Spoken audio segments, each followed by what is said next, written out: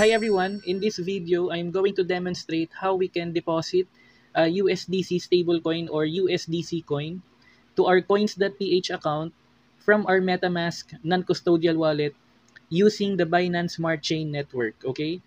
Now, in the later part of the video, I'm also going to provide more information about uh, coins.ph uh, e-wallet, okay? Now, we have here a total balance of 0 pesos. Okay, meaning we haven't got any uh, cryptocurrency balance on our coins.ph account as of the recording of this video. Now, I was recording this video last uh, Wednesday, uh, June 21, 2023 at 1.20 p.m. Manila time.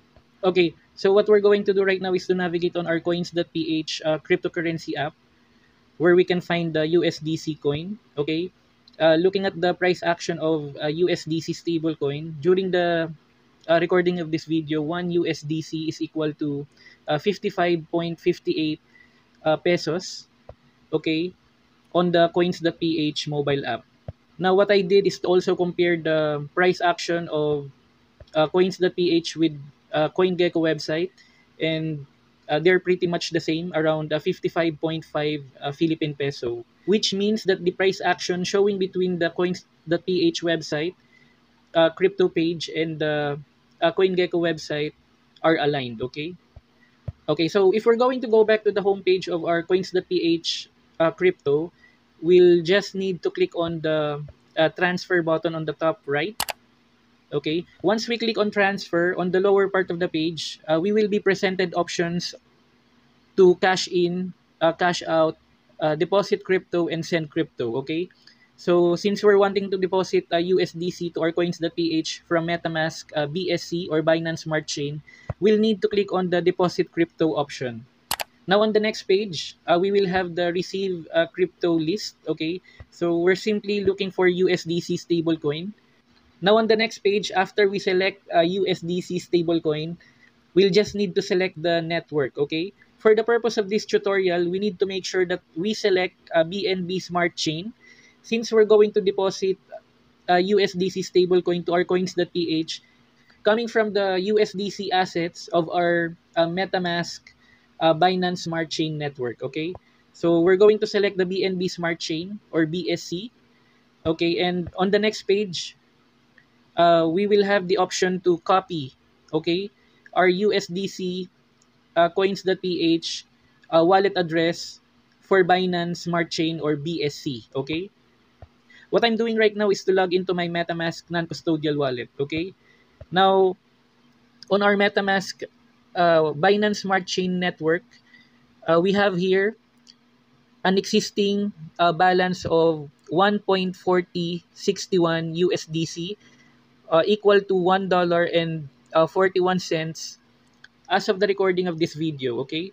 Now, what I'm going to do here is to uh, try if we can uh, send 0.10 USDC from MetaMask uh, BSC to our coins.ph uh, USDC uh, account, okay? So what I'm going to do right now is to click on the USDC coin.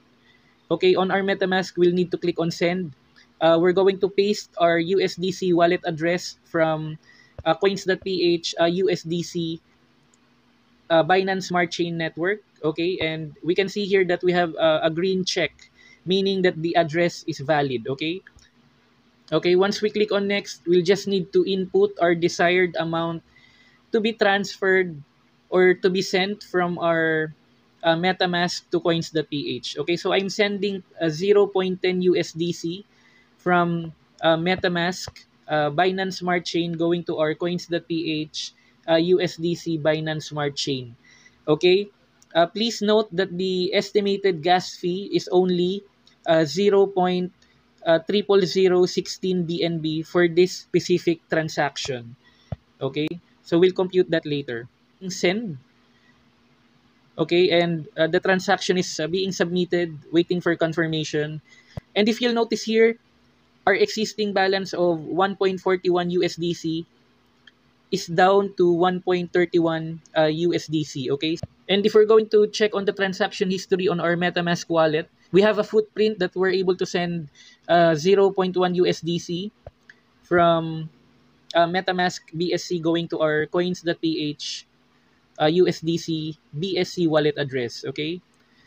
Now, what I'm doing on this part is to calculate the network fee or transaction fee. Okay. So for for that transaction, we only spent a 0.0016 BNB, which is only equal to 2.23 Philippine peso. Okay, so that's very cheap. So what I'm doing right now is to uh, toggle between my MetaMask uh, wallet and coins.ph to check if we're able to receive uh, 0.10 USDC from MetaMask BSC to our coins.ph USDC BSC. And you'll notice here, we're able to successfully receive uh, 0.10 uh, USDC from MetaMask to our uh, coins.ph account. Okay, from 0 pesos, we now have uh, 5.55 uh, Philippine peso equal to 0.10 USDC. Okay, if we're also going to check on the uh, cryptocurrency list and look for USDC, okay, so we'll click on view all prices so that we can uh, click on the USDC stablecoin. Okay. So when I click on the USDC coin, we can see here we have our USDC and if we're going to click on the sell option, we now have an available balance of 0.1 uh, USDC, okay, or around the 5.5 Philippine peso.